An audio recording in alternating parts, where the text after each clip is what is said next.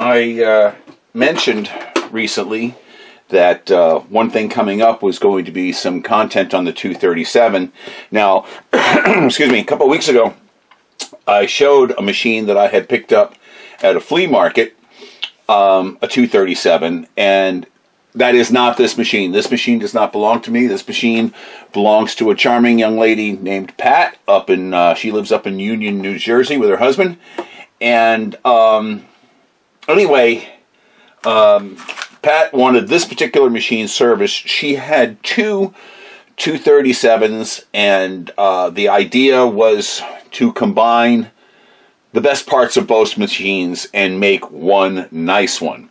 Well, the other machine she had, uh, it was well, both machines first of all were complete, but the other machine she had just wasn't as pretty as this one was.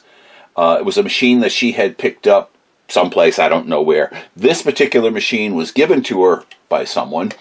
Um, anyway, uh, the only fault I could find on this machine when I visited her the other day at her home was the uh, indicator plate, uh, which also has the uh, release mechanism for the upper thread tension. It has the bar in it for the release. Uh, that was broken.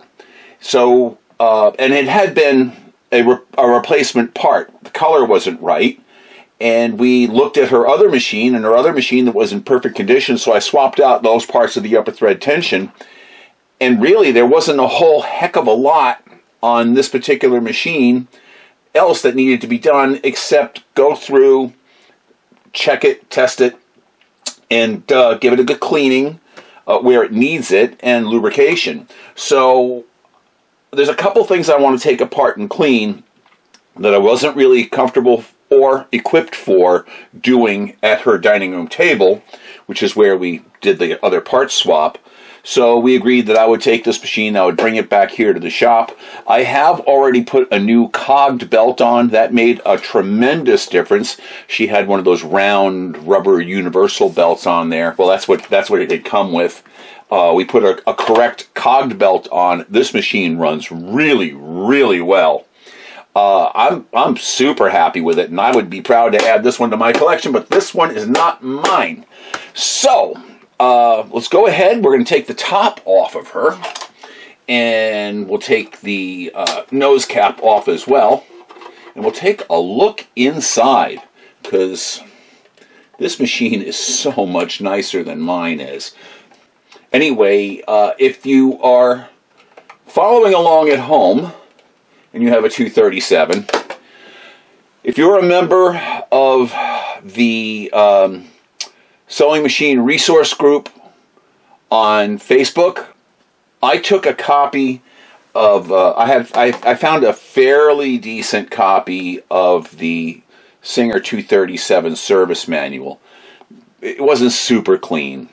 I imported all of it page by page into Photoshop. I cleaned it up um, fixed the brightness and the contrast, made it so that each page size was 8.5 by 11 for standard US letter size paper, and uh, put together a new PDF that is up on Sewing Machine Resource Group, um, where, um, you know, on Facebook. I'm also putting that, and it will be by the time I post this file, I'm also putting that on my website, so you'll be able to get it there too from the file section. Now, in addition to that, I also took the exploded view, which was normally two pages in the um, in the manual, and I took the complete parts list, which was two pages in the manual, and I combined them all together in Photoshop to something that will print on a tabloid sized piece of paper. And tabloid, if you're not familiar, that's 11 by 17 inches. And uh, so it's one big, one big like poster. Above is the uh, exploded view of the machine with every part numbered, and down below is the complete listing of all the parts. And believe it or not, you can read it all. It really came out nice. And uh, that too is on Sewing Machine Resource Group as well as on my website in the uh, manuals or the files section. So there'll be links to both of them down below. So anyway, we got this uh, loosened up. We're going to take that off, set that aside. And let me get the end piece off here so I can show you just how nice this machine is. But if you're following along and you want to see some of the procedures, go ahead, download that manual and uh, print it out, bind it up, you know, put it into a report binder or something. It's definitely a nice one to uh, to keep if you are the owner or you intend to own a Singer 237. Now, before we go too much farther, I got I have to say um, the the 237 is probably one of the most underrated machines that Singer sold. Uh, they they only made the 237. I think it was from 1967 to 1971. And one of the beautiful things about it, I'm going to lay her down on her back. Now I'm going to set the to a wide zigzag. Notice first up here, watch the action of the uh, in the zigzag. Notice how the um, needle bar is pivoting. Okay, as I'm turning it over, you can see the needle bar moving. Watch what's happening down below. Let me lay this back down again. Specifically, watch what's happening here at the shuttle and the, uh, well, here, let me zoom in on that for you. Now, watch what happens when I'm turning this over. Watch how that's moving. The whole hook, shuttle, the whole, and the bobbin case and everything moves back and forth. Now, I'm not turning this very fast, obviously, but it turns back and forth for the zigzag, which means the uh, needle bar doesn't have to pivot when it's doing this. It's just moving solidly back and forth, and everything is following along. This makes for an absolutely gorgeous zigzag stitch. And on many sewing machines that have zigzag, when you go to uh, use a zigzag stitch, quite often on a lot of machines you have to mess with the upper thread tension. That is not necessary at all with a 237. 237, the machine, even though it may be zigzagging, it really seems like it's doing a straight stitch as far as the relationship between the needle bar, which stays perfectly vertical the whole time, and because the whole the whole bobbin uh, bobbin case, bobbin shuttle hook, that's moving back and forth with it. So it's really a superior design. One thing that this machine does do that many lesser machines don't is you'll see here, I've got the feed dogs dropped. Turn that, feed dogs are up. So if you're doing uh, darning work or if you put a um, buttonholer on, a buttonholer attachment on this, you don't have to put a cover plate on. Just turn the dial. Feed dogs are down, feed dogs are up. Couldn't be simpler, couldn't be better. It's a great, great little machine. Um, they're heavy. These are these are big, heavy cast machines. These are not plastic body. Um, this is cast iron, and um, it does have a couple plastic parts. It's got a plastic, you know, the covers are plastic, but that that that body casting that is cast iron. So uh, if you drop this on your foot, your foot's going to stay dropped upon. But um, yeah, I love these machines. They are absolutely wonderful. I had one uh, a number of years ago and foolishly gave it away. Um, now that I own own one again, I'm never going to get rid of it unless I get an even better one than the one I have. And the amount of work I'm putting into the one I have means I'm never going to get rid of it, if that makes sense. Anyway, um, I wanted to go ahead. Now we're going to start going through in the cleaning process, get the presser foot off. Going to remove the um, needle plate. I'm just curious as to how much shmoo is underneath, and I don't suspect there's going to be much. Uh, looking at this machine at Pat's house, it looked pretty clean. So, and it's extremely clean. Yeah, there's nothing for me to do under there. That's that's fine. Um, pull the bobbin case up. Take a look at that. Um, yeah, we're going to we're going to clean the bobbin case out a little bit. Let me just first swab it out a little bit. Uh, I did try uh, testing the uh, bobbin case tension, and it seemed a little wonky that, that, that there was some dirt under the spring. So we're going to be taking this apart and cleaning this. I wasn't getting a, a smooth pull. Uh, that might be the thread.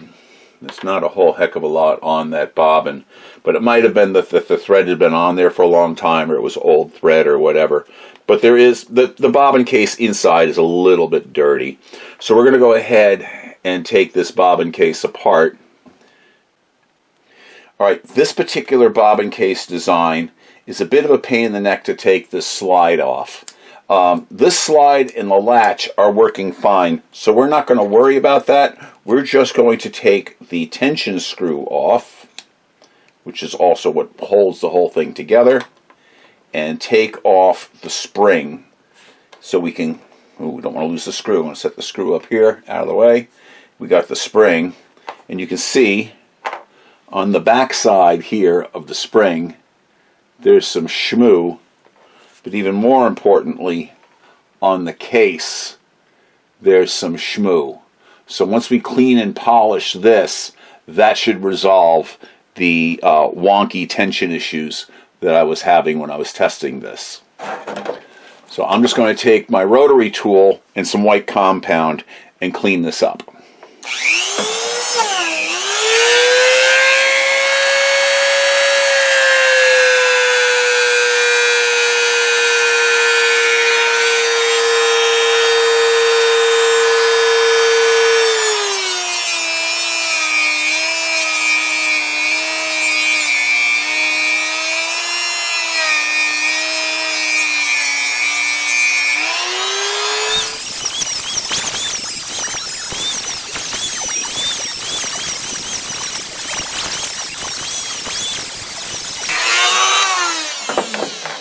Okay, we'll take some paper towel and we'll just wipe off the buffing dirt. And then we're going to attack the inside of the spring as well.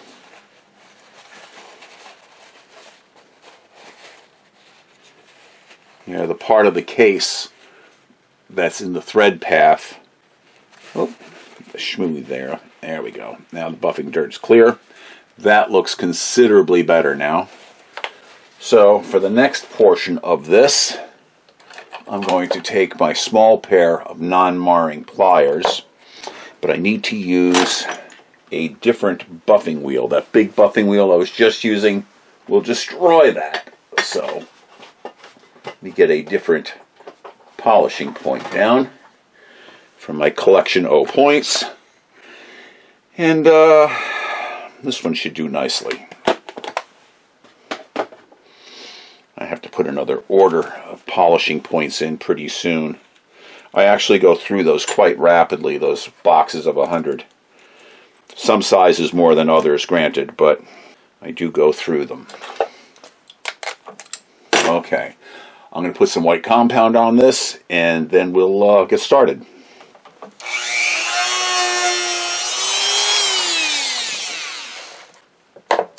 It's important, and I should point this out, I'm going to use a block of wood to help support.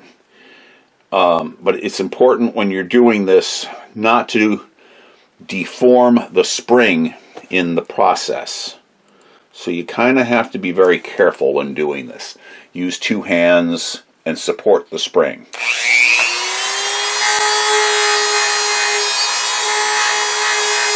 Very little, if any, pressure.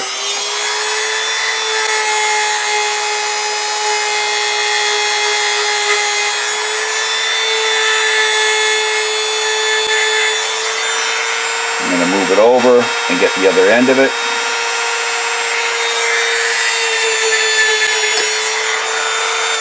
Okay, and then we'll take some paper towel and wipe the dirt off of it because that did, oh, look at that. Okay, hold on.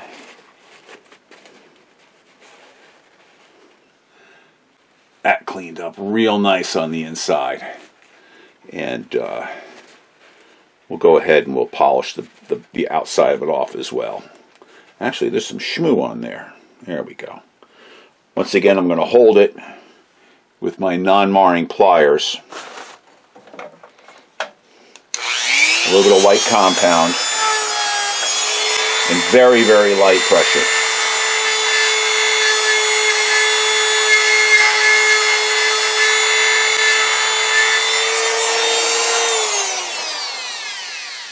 Side.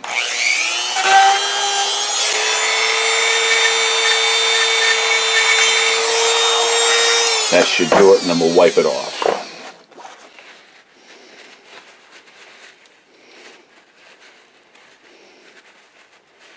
And once again, a little bit of polishing compound and a hard felt polishing point did the trick. Now, there's a little bit of shmoo buffing dirt in here. I'm going to get that. You see it's coming off with a cotton swab. I couldn't get that with the paper towel. So I'll use cotton swab and get that off. And it's still in there. Buffing dirt is a funny thing.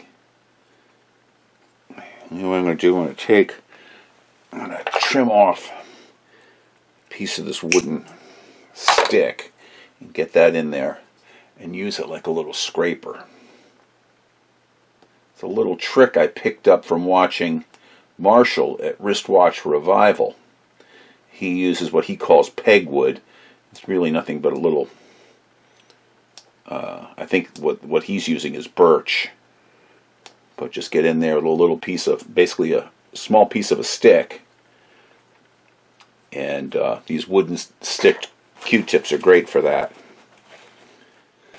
I'm using my tiny, tiny screw starter from McMaster-Carr. Let's see if I can get this screw started relatively easily. Maybe, maybe not. There it goes. It's going in. Getting these bobbin case screws started can sometimes be a royal pain in the neck. Alright, so we've got that in let me get a uh, bobbin case tension gauge and we're going to ballpark this. We're going to go ahead and test how clean we got this with my Towa TM2. This is the um, bobbin case tension gauge for 15 class machines. I want this to be at about 225 or so, between 225 and 250, and that looks pretty darn good right there. So I think we're going to be okay. That's pretty close. It took a lot of cleaning on this bobbin case to get that to work well. Um, off camera, I, I cleaned the interior a little bit more and um, polished it up, and then I wound a new bobbin, and things seem to be okay. Um, okay, before we go too much further, let me take the top back off.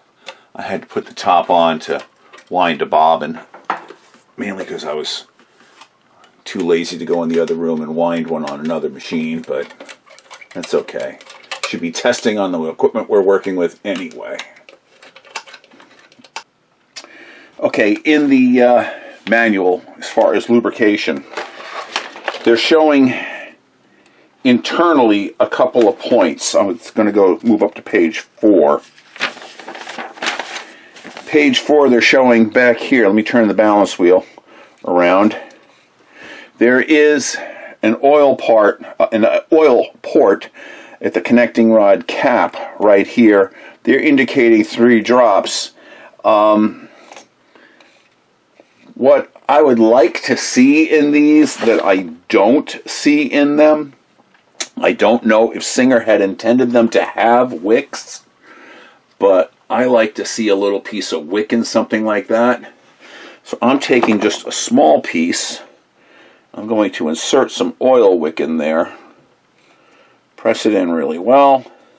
Bring that back up. And I'm going to saturate that wick and make that kind of self-oiling. Actually, we trim that a little flush. There we go. That's trimmed a little bit more flush. And now I'm just going to saturate the heck out of that felt oil wick. Let it work its way down. And we'll come back and put more on there as we go. Uh, they're also indicating there's another oil point, oil port underneath the bobbin winder here. There is a hole. I'm going to take the bobbin winder off temporarily. Number one, I want to change that tire, but I also want to show you where the port is. So it's one screw here, and pardon my arm getting in the way, but here, I'm going to lift that out. There is a washer that's underneath the uh, screw here. And here is that oil port right here. So that's lubricating the main shaft. That is accessible um, with the bobbin winder in place. I am going to change this tire. This tire is getting old and cracked and it definitely needs a good uh, we definitely need a new one there I grab the new tire and put the screw in the washer down here temporarily so I can get the tire on come on you there it goes it's on nice and tight we're going to go ahead and take a brush each one here just get some of this dirt moved around here a little bit. It's not that much actually. There really isn't much dirt in this machine. This machine is pretty darn clean inside. I'm going to go ahead and reinstall the bobbin winder.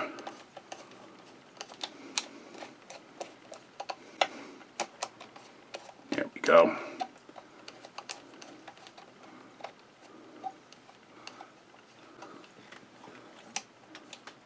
It's back on. It's got a brand new tire.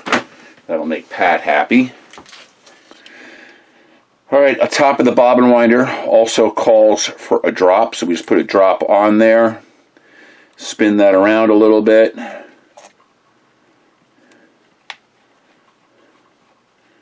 And I'm going to take a piece of paper towel, just wipe off any excess. And walking, going by this, I'm going to put a couple more drops on that. Let that soak into that felt I'm going to be doing that consistently. They don't show lubrication there, but I like to lubricate my cams. I put a drop on either side of the cam. Um, okay, the zigzag assembly itself, is that holding tight? Yes it is, okay. Um, the stitch width assembly here, this runs dry. There's no need to put any oil in that. Likewise, the left and left, right, center needle position.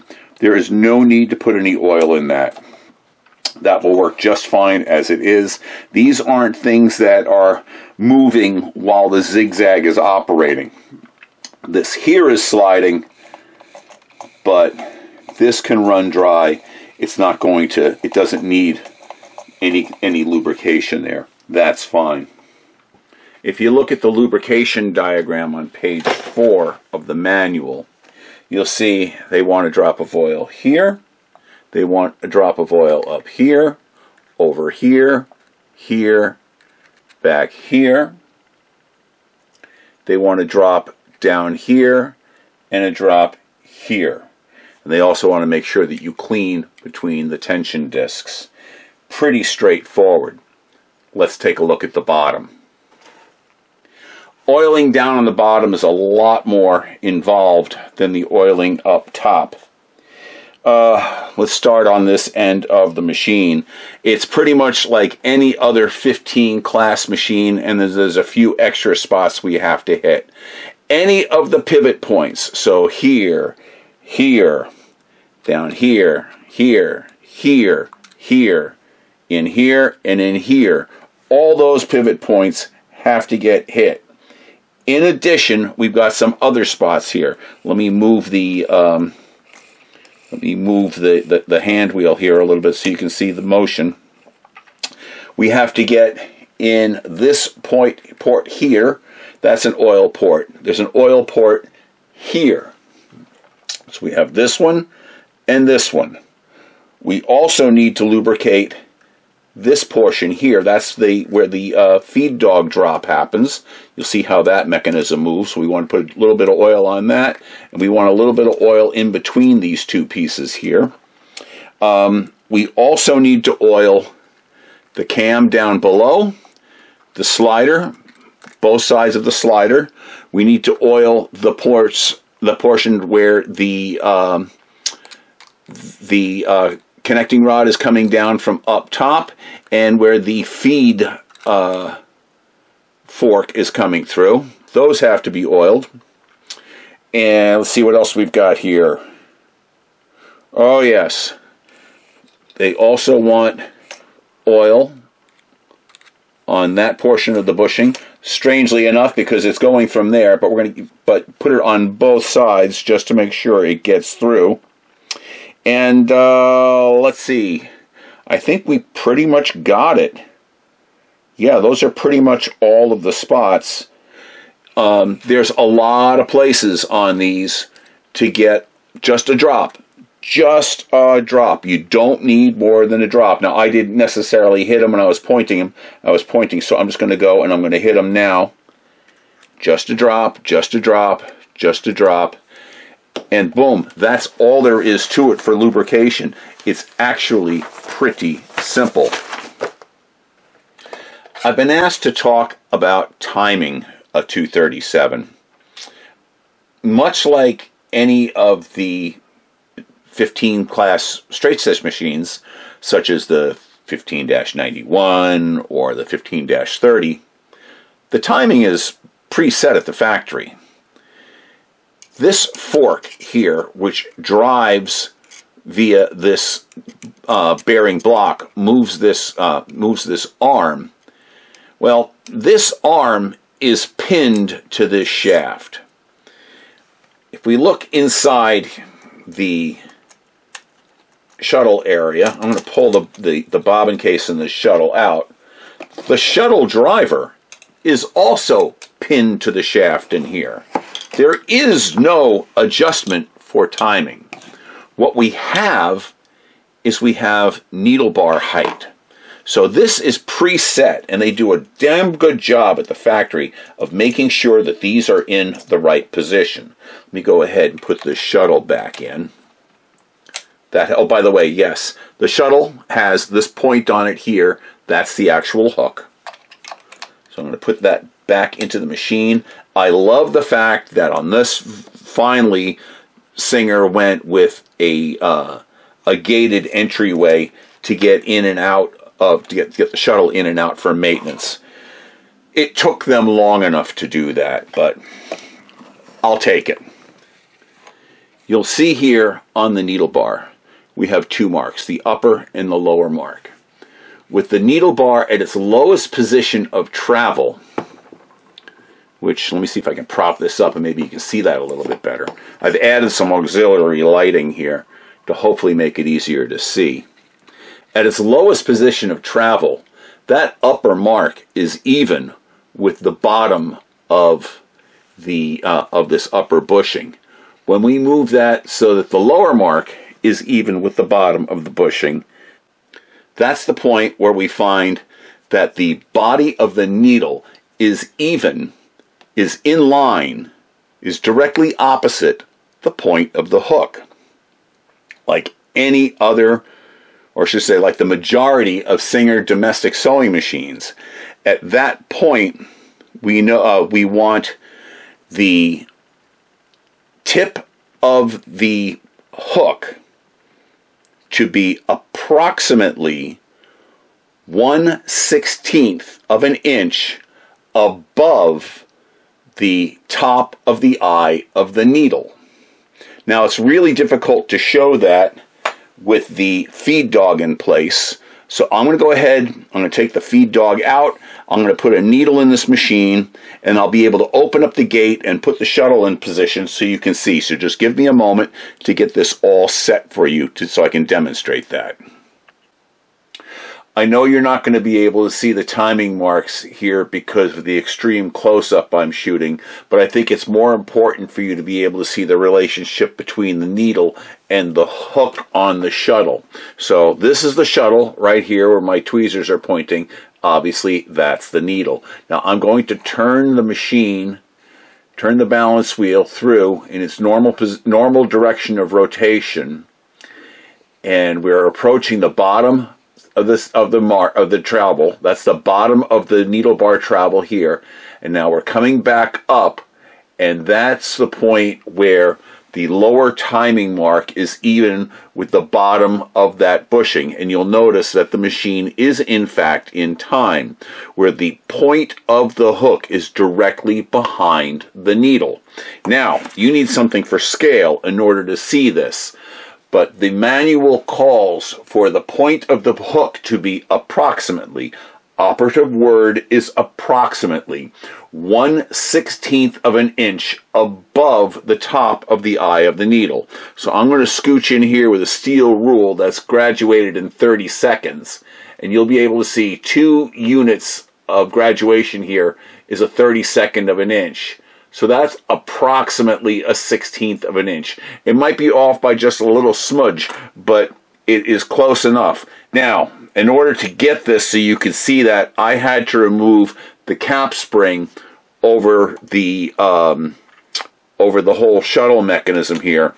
So the next thing I'm going to show you is how to get that back in place, and you're going to need uh, to gauge that because there is a specification for where this sits on top of the shuttle housing. That's the next thing I'm going to show you. The manual calls for the adjustments to be made with a number 14 needle, but there is one exception, and that is for the race cap. You have to have a number 18 needle installed for that, which I have now done. And with the screws that hold the race cap in place, I'm using a piece of 10 thousandths music wire as my gauge and I want the clearance between the needle and the race cap to be about 10 thousandths which is about there. So I get that in position and get the screw tightened on one side and then come back on this side and tighten the other screw. So that's the thread clearance for that particular portion here is 10 thousandths of an inch. Now, you're probably wondering, well, how am I going to get a gauge to, you know, 10 thousandths? Um, my good friend uh, Mark Sumter at sish.com, he occasionally has sets of wire feeler gauges available for thread clearance. Um, in his set, it doesn't come with a 10 thousandths. It comes with, I believe, an 11 and a 9. So you can use the 11 and 9 as go and no goes. You're talking a thousandth of an inch. It's close enough. I happen to have a piece of 10 thousandths wire that I've used for this adjustment in the past.